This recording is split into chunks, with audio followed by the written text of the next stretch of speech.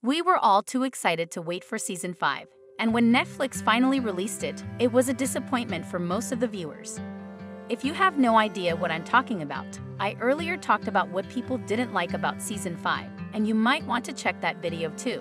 To sum up, people were disappointed by all the storylines including Mel's miscarriage, increased screen time of Lizzie and Denny, and Calvin being the father of Charmaine's twins. Some of the fans even said that they won't be watching the show since they believe it's ruined. But I think newly released holiday episodes fixed everything. Today I'll share what I think about part 2, as well as a few comments about it. I absolutely love the Christmas episodes, and I think they truly reflect the true Virgin River spirit. Part 2 gave us no drama or tragedy. Even though Jack's parents were planning to create multiple dramas, Jack and Bree handled it pretty well. We also saw the Christmas plans Jack and Mel had didn't happen since most of the people couldn't arrive. But you know what? They proved that no matter what, they're happy with what they have. And I think this is the real Virgin River. Bad things happen for sure, but in the end, as long as Jack and Mel are together with their close friends from Virgin River, everything will be just fine. The holiday specials weren't filled with joyous moments, but they were optimistic, which is what's important. Overall, I think part 2 was refreshing and hopeful, and I really enjoyed watching it. I love how Doc proposed to Hope in the best way possible.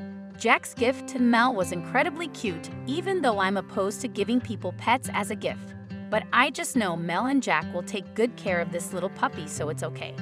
I also enjoyed watching Jack and Bree being a team against their parents. I even liked Charmaine in these episodes.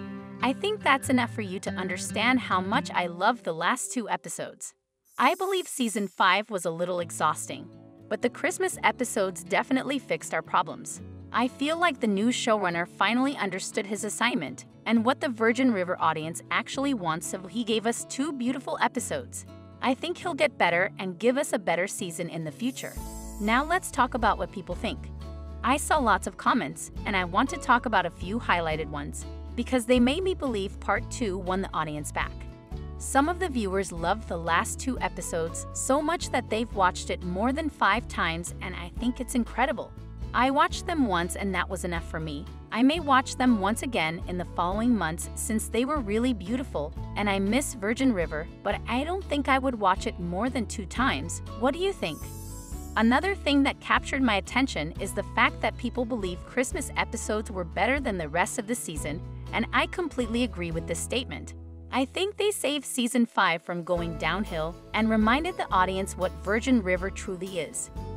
As for the favorite parts of these episodes, people really enjoyed Doc's proposal and Jack's gift as well as the musical scene. I enjoyed every single scene in these episodes, so I have nothing to say about this. But my favorite thing is probably the way Jack was so nice to Mel while helping her to find her biological father.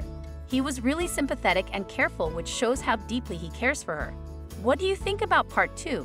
Do you think the show is ruined or not? Let me know in the comments below. If you enjoyed this video, check my other Virgin River videos. I bet you'll enjoy them. Don't forget to hit the like button and subscribe for more videos like this one. Thanks for watching. See you soon.